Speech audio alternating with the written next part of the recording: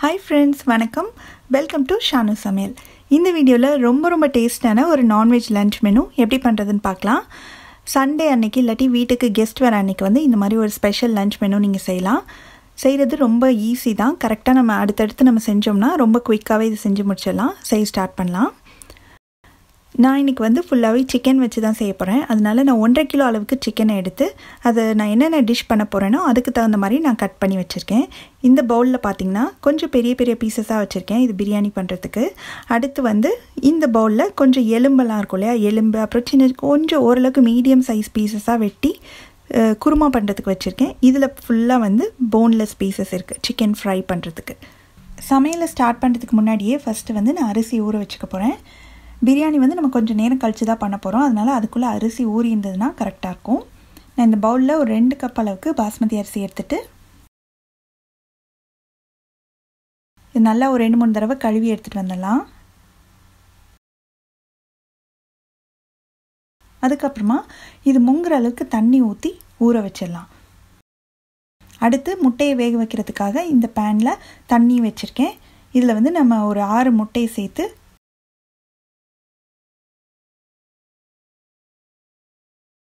இது வேக வச்சு எடுத்துக்கலாம்.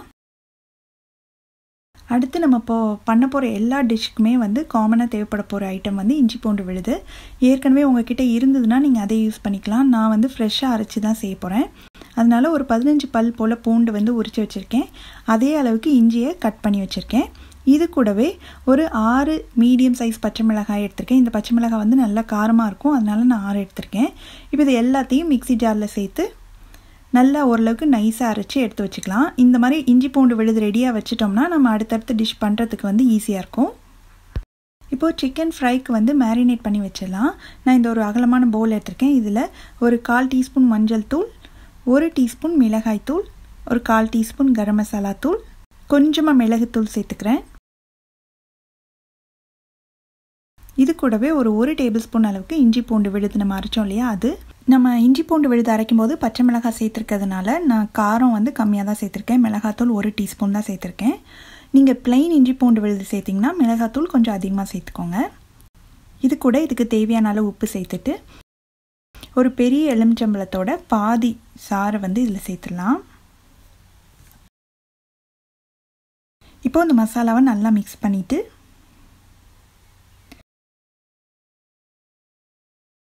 நம்ம போன்லெஸ் சிக்கன் பீஸ் எடுத்து வச்சுருந்தோம் இல்லையா? அதை இதில் சேர்த்துக்க போகிறேன் இது வந்து இந்த சைஸ் கட் பண்ணியிருக்கேன். இப்போ இது எல்லாத்தையும் சேர்த்து அந்த மசாலா எல்லாம் அந்த சிக்கனில் நல்லா கோட் ஆகிற மாதிரி பெரட்டிக்கணும். இப்போ இதை மூடி வச்சிடலாம். நம்ம கடைசியில் தான் நம்ம சர்வ் பண்ணுறதுக்கு முன்னாடி தான் வந்து சிக்கன் ஃப்ரை பண்ண போகிறேன் அதனால் அது வரைக்கும் இது நல்லா மேரினேட் ஆகிட்டு இருக்கட்டும். இப்போ நம்ம சமைக்க ஆரம்பிச்சிடலாம். நான் ஃபஸ்ட்டு வந்து ஸ்வீட் பண்ண போகிறேன் நான் இன்றைக்கி வந்து சிம்பிளான ஒரு கேசரி தான் பண்ண போகிறேன் அதுக்கு இந்த பேனை சூடு பண்ணி அதில் ஒரு டேபிள் ஸ்பூன் நெய் சேர்த்துட்டு நெய் உருகின உடனே கொஞ்சம் ஒரு ரெண்டு மூணு டேபிள் ஸ்பூன் அளவுக்கு முந்திரி பருப்பு சேர்த்துக்கிறேன். முந்திரி பருப்பு உங்களுக்கு எவ்வளோ வேணுமோ அந்த அளவுக்கு சேர்த்துக்கோங்க. இப்போது இது லேசாக கலர் மாறுற அளவுக்கு நல்லா அந்த நெய்லேயே வறுத்துக்கணும்.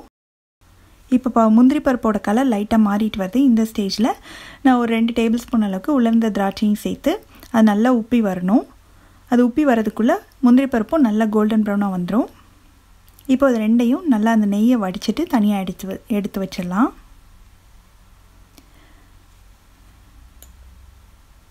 மீதி இருக்கிற நெய் கூடவே நான் கொஞ்சமாக ஒரு டேபிள் ஸ்பூன் அளவுக்கு எண்ணெய் சேர்க்குறேன். இது வந்து ரைஸ் ப்ரௌன் ஆயில் அந்த எண்ணெய் சேர்க்குறேன். ரொம்ப வாசனை இல்லாத எண்ணெய் சேர்த்துக்கோங்க. இதுக்கு பதிலாக நீங்கள் நெய்யே வேணும்னாலும் சேர்த்துக்கலாம். இதில் வந்து ஒரு அரை கப் அளவுக்கு ரவையை வந்து சேர்த்து நல்ல ஒரு வாசனை வர அளவுக்கு வறுத்துக்கணும்.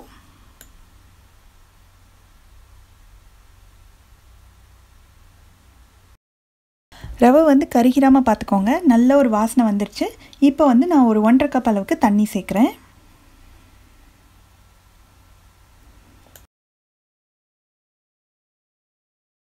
தண்ணி சேர்த்து நல்லா கலந்து விட்டுட்டு இது கூடவே வந்து நான் கலருக்கு பதிலாக கொஞ்சமாக குங்குமப்பூ சேர்க்குறேன். குங்குமப்பூ சேர்க்கும் போதே நம்மளுக்கு நல்ல ஒரு கலர் கிடைக்கும். அதுவே நல்லாயிருக்கும் கேசரிக்கு. அந்த ஃப்ளேவருமே நல்லாயிருக்கும். இப்போ அது நல்லா கலந்து ரவை நல்லா வேகணும். அந்த அளவுக்கு நம்ம மிக்ஸ் பண்ணிகிட்டே இருக்கணும். பார்த்திங்களா ரவை நல்லா வெந்த உடனே நான் எந்த கப்பில் ரவை எடுத்தேனோ அதுலேயே ஒன்றே முக்கால் கப் அளவுக்கு சர்க்கரை சேர்க்குறேன்.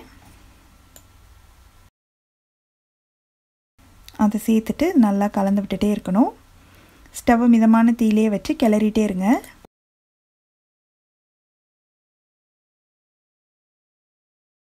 இப்போ பார்த்திங்கன்னா நல்லா ஒன்றா சேர்ந்து வந்துடுச்சு கேசரி. கடைசியில் வந்து இதில் ஒரு அரை டீஸ்பூன் அளவுக்கு ஏலக்காய் தூள்.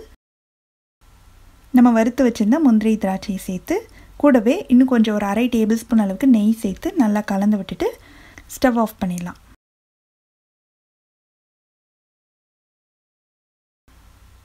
கேசரி ரெடி ஆயிடுச்சு. அடுத்து இங்கே பார்த்திங்கன்னா முட்டையும் நல்லா வெந்துருச்சு.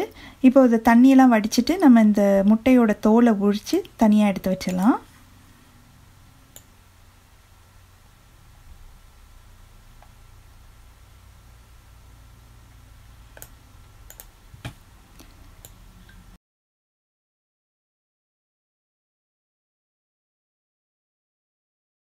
எல்லா முட்டையுமே உரித்து வச்சாச்சு.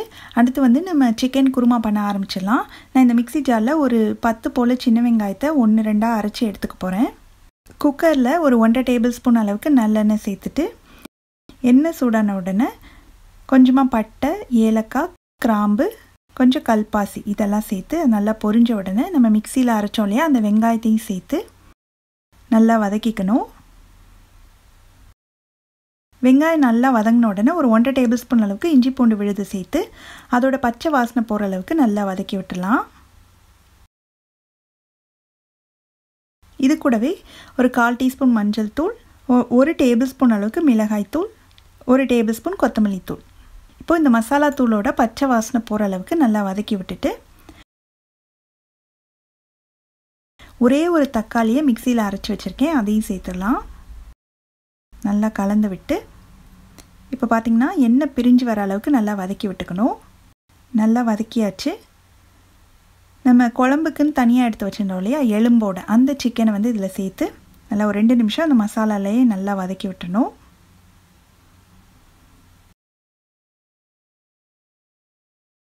அடுத்து இதுக்கு தேவையான அளவு உப்பு சேர்த்துட்டு நல்லா கலந்து விட்டு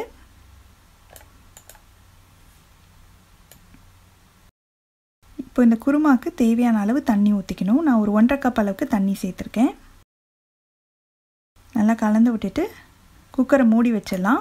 ஸ்டீம் வந்ததுக்கப்புறமா வெயிட் போட்டு மீடியம் ஃப்ளேமில் ஒரு பத்து நிமிஷம் வேக வச்சுக்கோங்க. நீங்கள் சிக்கன் வந்து எந்த அளவுக்கு ரொம்ப சாஃப்டான சிக்கன்னா சீக்கிரமாகவே வெந்துடும் என்னோடய சிக்கன் வந்து ஒரு பத்து நிமிஷம் வேக வச்சா தான் கரெக்டாக இருக்கும். அதனால் நான் பத்து நிமிஷம் வேக வச்சு எடுத்துக்க போகிறேன் இப்போது சிக்கன் குழம்பு வந்து இன்னொரு ஸ்டவ்க்கு மாற்றிட்டு இதில் வந்து நம்ம பிரியாணி செய்ய ஆரம்பிச்சிடலாம். அரிசியும் நல்லா ஊறியிருக்கும்.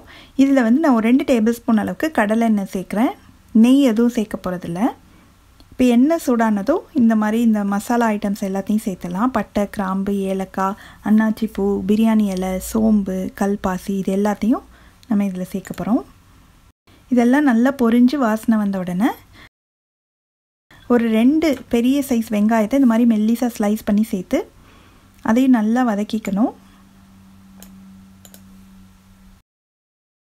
இப்போ வெங்காயம் பார்த்திங்களா நல்லா ஓரளவுக்கு கலர் மாதிரி வதங்கின உடனே ரெண்டு டேபிள் ஸ்பூன் அளவுக்கு இஞ்சி பூண்டு விழுது சேர்த்து அதோட பச்சை வாசனை போக அளவுக்கு வதக்கிக்கணும்.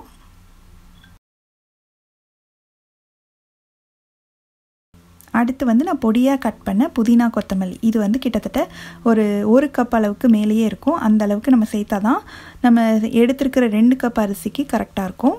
இப்போ இந்த புதினா கொத்தமல்லியை லேசாக வதக்கி விட்டுலாம் ரொம்ப நேரம் வதக்கணுன்ற அவசியம் இல்லை.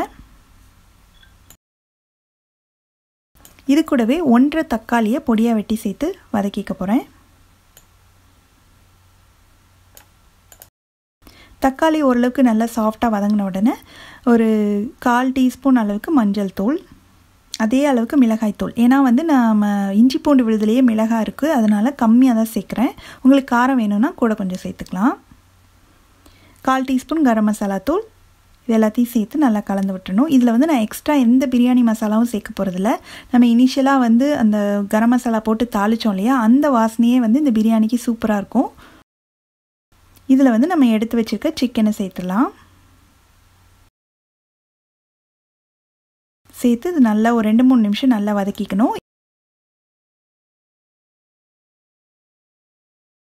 இப்போ வந்து நான் சிக்கனுக்கு தேவையான அளவுக்கு மட்டும் உப்பு சேர்த்து நல்லா கலந்து விட்டுற போகிறேன் இது நல்லா அந்த மசாலாலேயே சிக்கனை கொஞ்சம் நேரம் வதக்கி விட்டுறணும்.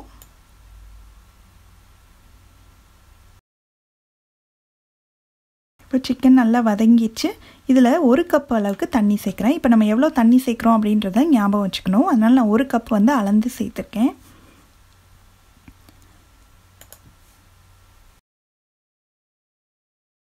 இப்போ குக்கரை மூடி வச்சு ஸ்டீம் வந்ததுக்கப்புறமா வெயிட் போட்டு எட்டு நிமிஷம் வேக வச்சு எடுத்துக்கலாம். ஸ்டவ்வை நல்லா சிம்மில் வச்சு. சிக்கன் குருமா வந்து ரெடி ஆயிடுச்சு. ஸ்டவ் ஆஃப் பண்ணிவிட்டேன் இப்போ வந்து நம்ம அது ப்ரெஷர் போனதுக்கப்புறம் தான் திறக்க முடியும். அதுக்குள்ளே வந்து இப்போ அந்த குருமாவில் சேர்க்குறதுக்கு ஒரு தேங்காய் கிரேவி ரெடி பண்ணணும். அதை அரைச்சிக்கலாம். அதுக்கு இந்த மிக்சி ஜாரில் ஒரு அஞ்சாறு முந்திரி ஒரு அரை டீஸ்பூன் சோம்பு கொஞ்சமாக தேங்காய். இது எல்லாத்தையும் தண்ணி சேர்த்து நல்லா ஸ்மூத்தாக அரைச்சி எடுத்துகிட்டு வந்துடலாம். இப்போ ப்ரெஷர் எல்லாம் போயிடுச்சு. திறந்து பார்க்கலாம். சிக்கனில் நல்லா சூப்பராக வெந்து எண்ணெய் மிதக்க மிதக்க சூப்பரான குருமா ரெடி ஆயிடுச்சு.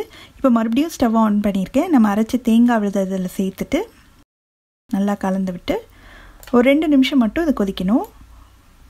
நம்ம முந்திரியெல்லாம் சேர்த்துக்கிறதுனால இது இன்னுமே கொஞ்சம் திக்காகும். அதனால் மிக்சி ஜாரை கழுவி கொஞ்சமாக மட்டும் தண்ணி சேர்த்துருக்கேன். ஒரு ரெண்டு நிமிஷம் கொதிச்சதுன்னா சூப்பரான சிக்கன் குருமா ரெடி ஆயிரும்.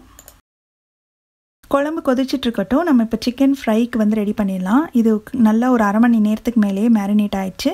இதில் வந்து நம்ம ஃப்ரை பண்ணுறதுக்கு முன்னாடி ஒரு ரெண்டுலேருந்து மூணு டேபிள் ஸ்பூன் அளவுக்கு சோளமாவு சேர்த்துக்கணும். இது வந்து நல்ல ஒரு கிறிஸ்பினஸ் கொடுக்கும். நல்லா கலந்து விட்டுலாம். இப்போ இன்னொரு ஸ்டவ்வில் நான் ஒரு கடாயை வச்சு அதில் பொரிக்கிறதுக்கு தேவையான அளவு எண்ணெய் ஊற்றி வச்சுருக்கேன். இது நல்லா சூடாகிட்டு இருக்கட்டும். இப்போ பார்த்திங்கன்னா சிக்கன் கிரேவி நல்லா ஒரு ரெண்டு மூணு நிமிஷம் கொதித்து ரெடி ஆயிடுச்சு. ஸ்டவ் ஆஃப் பண்ணி இதை தனியாக எடுத்து வச்சிடலாம். நம்ம சிக்கன் ஃப்ரை போடுறதுக்கு சூடு பண்ணியிருந்தோம் இல்லையா? இந்த எண்ணெய் வந்து கரெக்டான சூடு வந்துடுச்சு. இதில் வந்து கொஞ்சம் கொஞ்சமாக நம்ம மேரினேட் பண்ணி வச்சுருக்க சிக்கன் பீசஸை எடுத்து போட்டு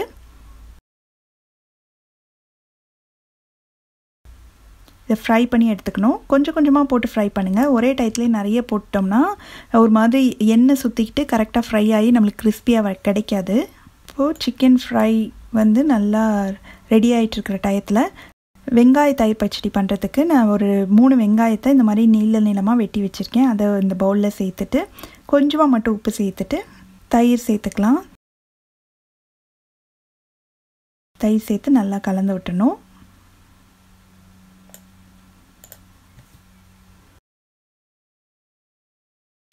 இப்போ பார்த்திங்கன்னா சிக்கன் நல்லா ஃப்ரை ஆகிட்டுருக்கு இதை மெதுவாக திருப்பி விடுங்க. ரொம்ப நேரம் ஃப்ரை ஆகணும்னு அவசியம் இல்லை. ஏன்னா போன்லெஸ் சிக்கன் நம்ம குட்டி குட்டி பீசஸாக வேறு வெட்டி போட்டிருக்கோம் இல்லையா? அதனால சீக்கிரமாக ஃப்ரை ஆயிரும். ரொம்ப நேரம் வச்சுருந்திங்கன்னா ரப்பர் மாதிரி ஆயிரும். இப்போ இந்த சைடு வந்து நான் சிக்கன் பிரியாணிக்காக வேக வச்சுருந்தோம் இல்லையா? ஒரு எட்டு நிமிஷம்.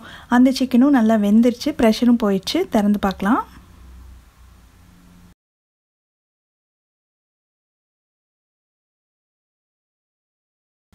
இப்போ மறுபடியும் ஸ்டவ் ஆன் பண்ணிவிட்டு நம்ம ஊற வச்சுருந்தோம் இல்லையா அந்த அரிசியில் உள்ள தண்ணியெல்லாம் நல்லா வடிச்சிட்டு இதில் சேர்த்துக்கலாம்.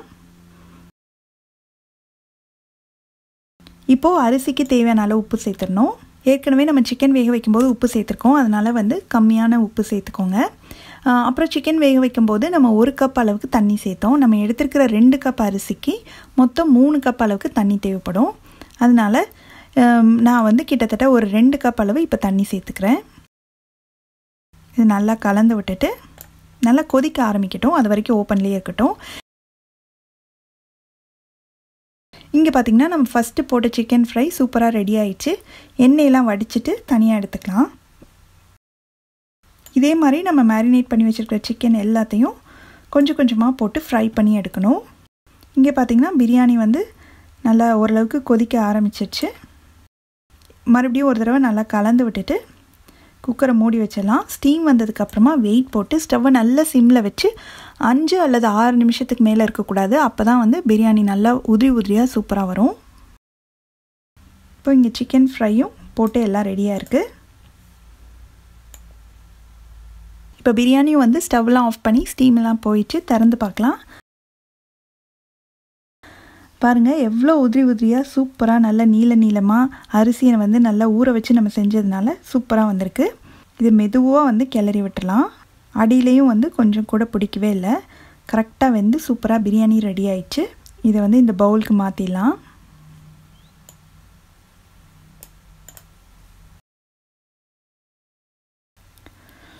ஸோ நம்மளோட லன்ச் மெனு வந்து எல்லாமே ரெடி ஆகிடுச்சு இப்போ எல்லாத்தையும் சர்விங் டிஷ்ஷுக்கு மாற்றி எடுத்து வச்சிட்ருக்கேன் இதில் வந்து கேசரி வச்சுருக்கேன். அடுத்து வெங்காய தயிர் பச்சடியில் கொஞ்சமாக கொத்தமல்லி இலை போட்டு ரெடி பண்ணி வச்சுருக்கேன்.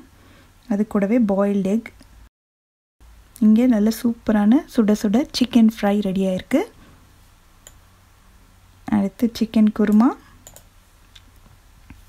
அதுக்கப்புறம் நம்மளோட மெயின் டிஷ் சிக்கன் பிரியாணியும் ரெடி ஆயிடுச்சு. இது கூட சர்வ் பண்ணுறதுக்காக கொஞ்சமாக ஆனியன் ரிங்ஸும் அப்புறம் லெமன் ஸ்லைசஸும் uh, எடுத்து வச்சுருக்கேன். அவ்வளோதான் ரொம்ப ரொம்ப சிம்பிளான ரொம்ப டேஸ்டியான லன்ச் மெனு ரெடி ஆயிடுச்சு. நீங்களும் இந்த ஸ்பெஷல் லன்ச் மெனுவை கண்டிப்பாக வீட்டில் ட்ரை பண்ணி பார்த்துட்டு எப்படி வந்ததுன்ற கமெண்ட்ஸை மறக்காமல் ஷேர் பண்ணுங்கள் தேங்க்ஸ் ஃபார் வாட்சிங்